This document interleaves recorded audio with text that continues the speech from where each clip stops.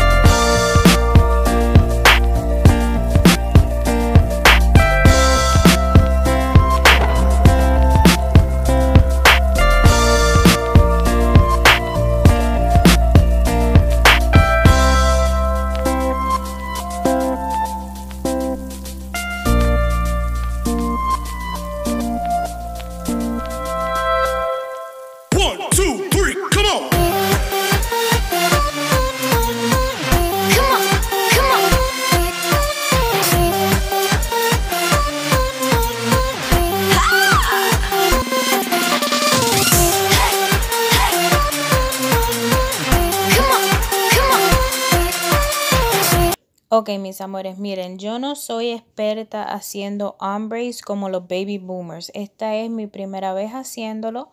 So, no vengan por mí, por favor. Eh, también quiero especificar que esta brocha no es una brocha que yo utilizo perdón, en clientes, sino solamente de práctica. Y verán que el acrílico sí se me pega a la brocha y que hay algunos pelitos que se le salen a la brocha, pero vuelvo y le digo, es porque ya la brocha está maltratada, pero no quería botarla porque todavía pues sirve para hacer práctica o lo que sea. Eh, aquí utilicé el acrílico blanco de Allure Nails y estoy yendo un poquito más arriba de la mitad de la uña y eh, pasando el acrílico hacia punta. Eh, como vuelvo y le digo, es mi primera vez y sí me dijeron después una persona que yo conozco que hubiera usado eh, el color blanco opal o em, el que le dicen color leche porque sí con ese color se difumina más el acrílico a la hora de poner el color beige que van a ver a pronto pero vamos a hacer el blanco en las cuatro uñas eh, y ya mismo regresamos.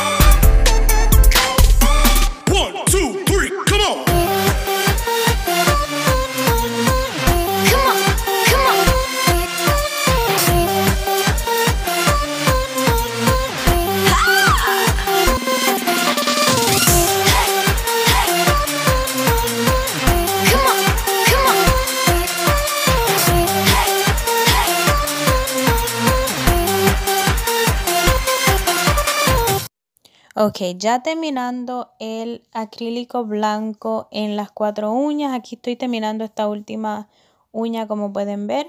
Pero ya terminando el blanco en las cuatro uñas, voy a utilizar este color de Allure Nails que se llama Champagne on the Rocks. Lamentablemente ya está eh, sold out, pero pronto regresa. Eh, a mí no me pagan para decir esto, pero me encantan tanto sus productos que le quiero decir eh, este Champagne on the Rocks y todos los productos de ella son muy fáciles de trabajar eh, y muy, muy económico. Eh, pero como pueden ver, estoy cogiendo una perla, poniéndola en donde el blanco se termina para tratar de darle la difuminación. Acuérdense y vuelvo y le repito que es mi primera vez haciendo baby boomers. Eh, so que mi técnica todavía no está bien. Y como pueden ver, pues batallo un poquito en tratar de difuminar eh, el blanco. Por eso fue que le pregunté a alguien que cómo se hacía y me dijeron que con el blanco opal o con el leche se hace más fácil el difuminado. Pero eso es lo que estamos haciendo. Estamos tratando de perfeccionar eh, el difuminado y lo vamos a hacer en las cuatro uñas como pueden ver en el dedo de, del anillo eh, todavía se ve la línea blanca. Eh, pero pues ya yo no quería utilizar más acrílico para tratar de difuminarlo ya que también voy a encapsular con acrílico blanco y no quería que la uña se me viera muy gruesa pero vamos a hacer esto en todas las uñas eh, con el champagne on the rocks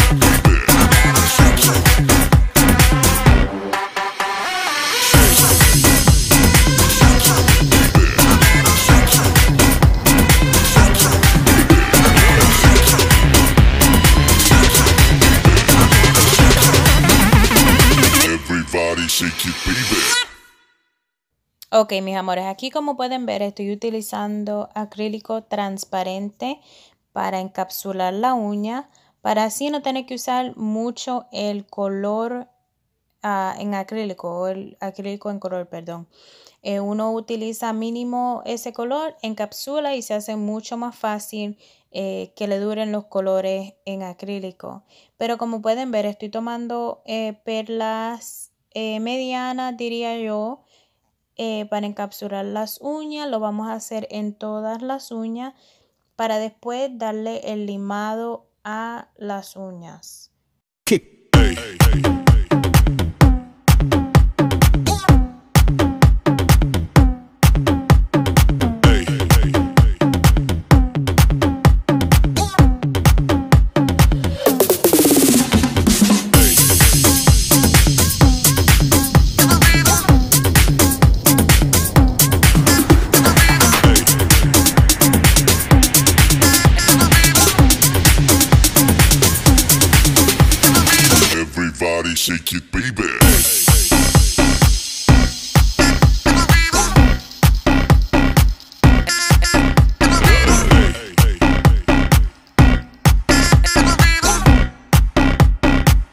everybody, shake keep baby. there.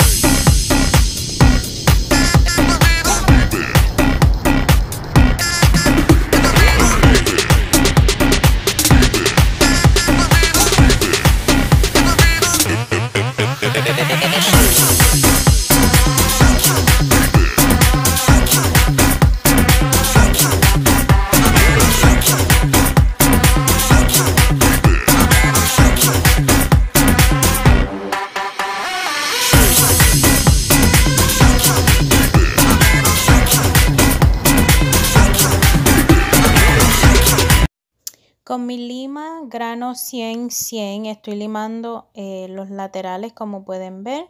Eh, no me tardo mucho limando eh, ya que nosotros le habíamos dado la forma que queríamos de estileto antes de haber puesto el acrílico. Pero obvio cuando uno le pone el acrílico pues sí hay que darle el terminado y el limado para que quede como a uno le gusta. como pueden ver Estoy limando laterales y un poquito a la parte de abajo ya que sí se me fue un poquito de acrílico a la punta, pero nada, nada en exceso. Eh, estamos limando laterales, asegurando que la lima esté lo más derechamente posible eh, para que obviamente pues se quede el, el ángulo y el limado como uno lo quiere. Eh, estamos haciendo esto en las cuatro uñas. Luego vamos a venir eh, con nuestro drill de mano o el hand drill a darle limado a la parte de arriba, a las cuatro uñas también para así eh, terminar con un limado perfecto.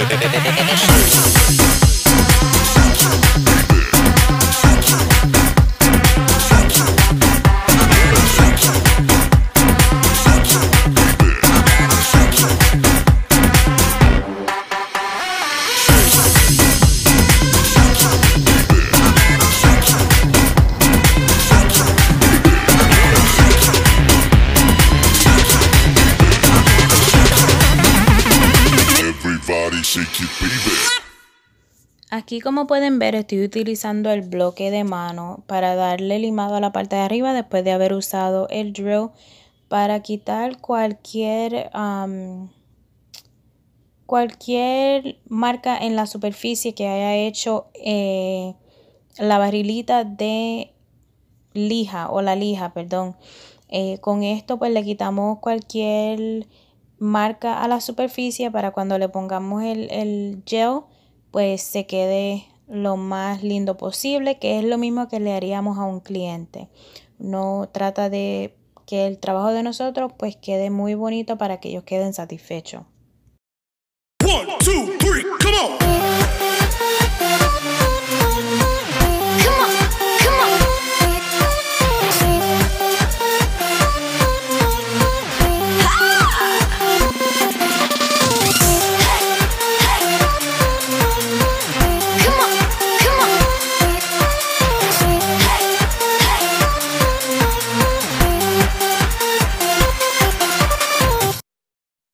Vuelvo y le digo, esta es mi primera vez haciendo este tipo de diseño de baby boomers. Yo sí lo había hecho antes con eh, brillantina o con escarcha o con brillo, como le quieran llamar, eh, pero nunca en blanco y beige como le dicen baby boomers. Eso, esta es mi primera vez, sí veo defectos, veo que puedo hacer mejor la próxima vez, pero eh, ya eso será para otro día de práctica. Aquí como pueden ver estoy utilizando mi resina de Mia Secrets para añadir estos cristales que me ha salido muy muy buena. Eh, mis cristales no se me caen ni a mí ni a mis clientas eh, cuando yo lo utilizo. nunca me ha dado problema y también lo puse en un video anterior que fue hot y desde ese entonces lo estoy utilizando y miren, de verdad que sin ningún problema, eso se los recomiendo. Y a pesar de, lo barato que es, funciona de lo más bien. Pues aquí estoy añadiendo estos cristalitos eh, en un diseño muy simple.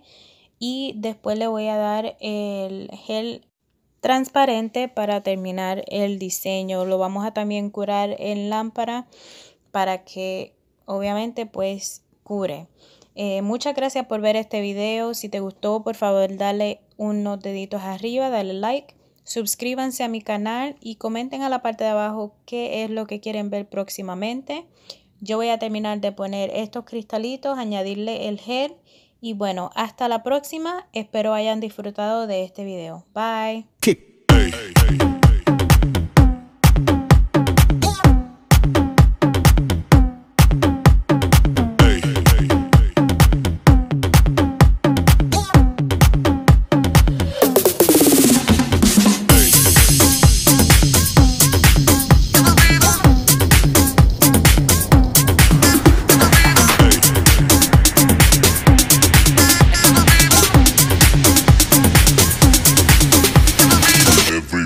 sei que